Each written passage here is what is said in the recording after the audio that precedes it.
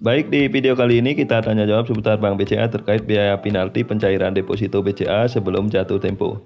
Ini ada pertanyaan, berapa biaya penalti yang harus dibayar ketika pencairan deposito BCA sebelum tanggal jatuh tempo?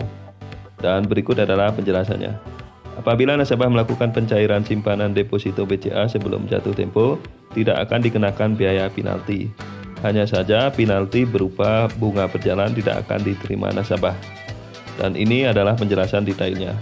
Sebagai contoh, nasabah buka rekening deposito BCA dengan jangka waktu 12 bulan dan pembukaan pada bulan Januari, kemudian nasabah melakukan pencairan di bulan Oktober, maka bunga berjalan di bulan berikutnya tidak akan diberikan, tepatnya di bulan November dan Desember.